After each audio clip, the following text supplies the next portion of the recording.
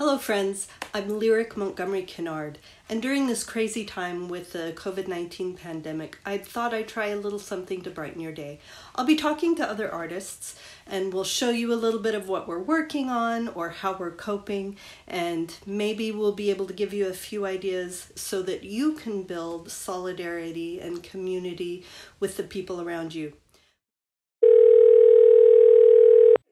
So I'll go ahead and start. Hi, friends. I'm Lyric Kinard, and I'm here with Pepper Cory. Pepper, why don't you introduce yourself? I am uh, Pepper Cory. I'm uh, in Beaufort, North Carolina, so I'm on the coast from where Lyric lives. And um, the building that I'm in, it, I call it the shed. It's the area where I work on my quilts and my writing and stuff. I've been doing this, gosh, a while, a while. I started when I was in college. Uh, I graduated college in 1973, so it has been a while. you're you're one of our more experienced quilters. Okay. Yeah, great. And you've been teaching and doing this for a long time. I know. Um, I don't remember when the first time I met you was and I think you might have come and lectured to Capital Quilt Guild in Raleigh at some point when I was first starting quilting. But I've always loved your work, and I've always just enjoyed your personality and your spirit. You're one of those people that make me smile.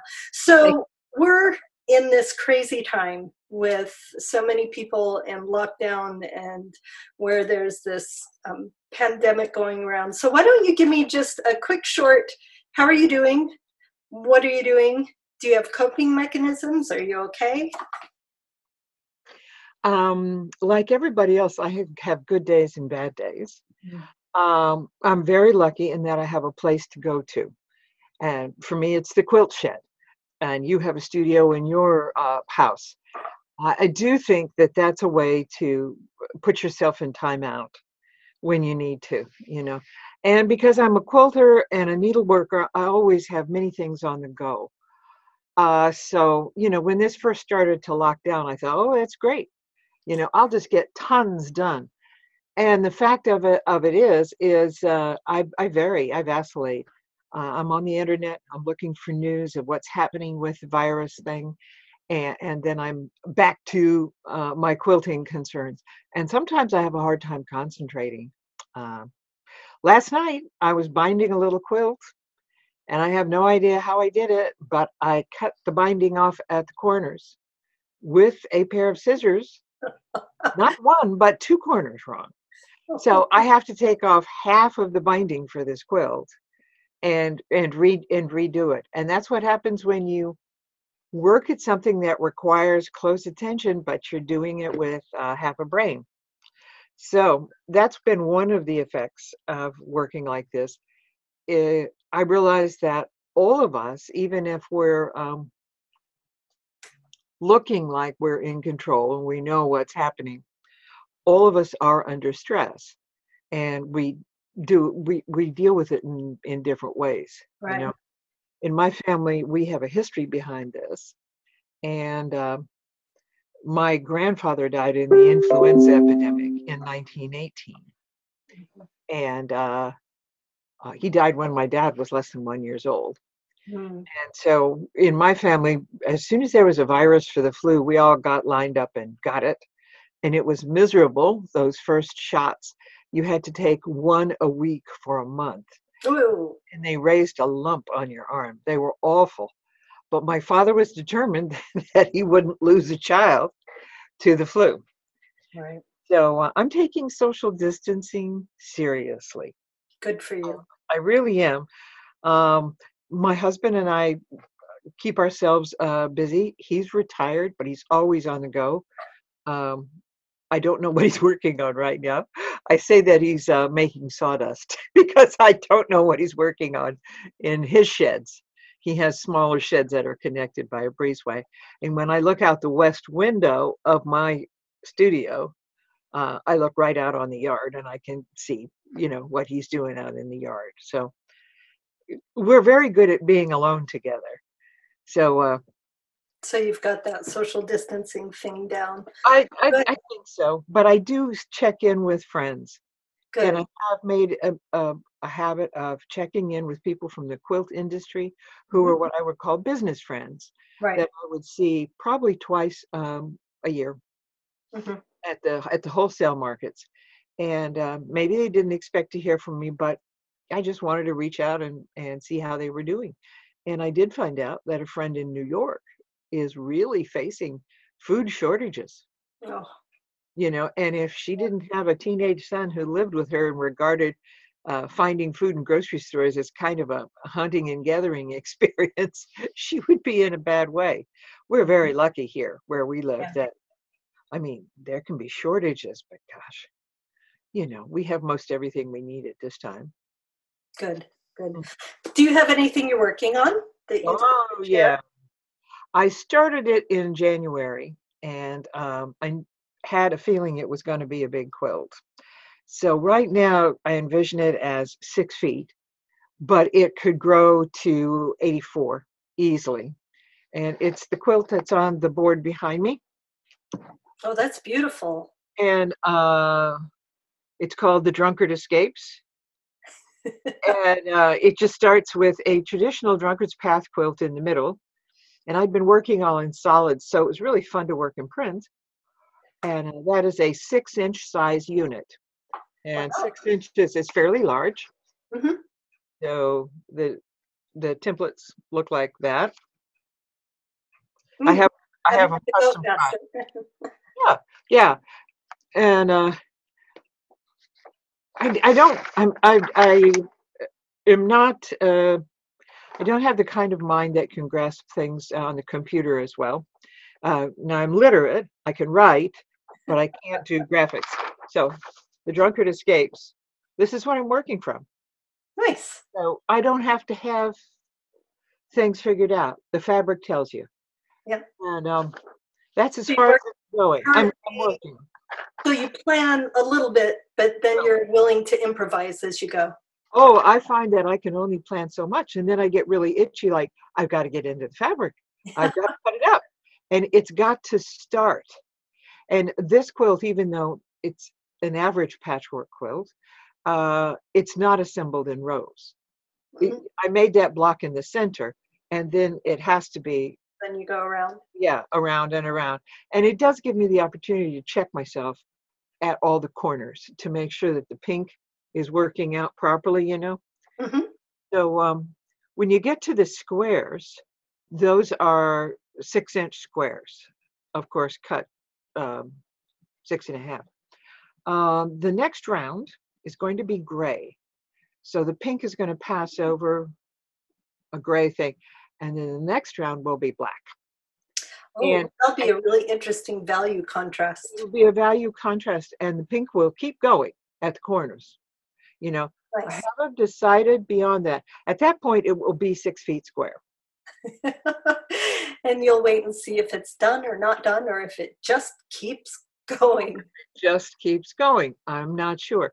Uh, i think sometimes we set a limit on what we can do Mm. and um and, and we also say well i'm only going to work with this pile of fabric well that's all right if that's all the fabric that you've got in the world but um What you know, I have a little bit of fabric. Okay. I got a little bit of fabric. the whole shelves on the back wall, that's all fabric? Yeah. Nice. There's there's bins, and the bins have cut pieces. Uh-huh. And on the top in your drawers? the bolts. Oh, the drawers. Now I bought those from an architect who was moving to Raleigh. Yeah. And they are nice flat drawers. They are actually made for Blueprint. old-fashioned blueprints. Yeah. Right. And what they have in them is ephemera. Uh, one of my side interests is collecting things about quilt history. Yeah. Sometimes you stumble on stuff and you don't know exactly if it will be important or not. Um, I'm going to get up for just a moment Sure. and uh, see. I'm not exactly sure how this camera. I, I hope that we can keep things. Well, just keep going. Okay, the drawers. Um, ephemera is the little stuff. The all stuff, the, all the bits and bobs. the bits and bobs, the things that are often overlooked, but they can be really, really interesting.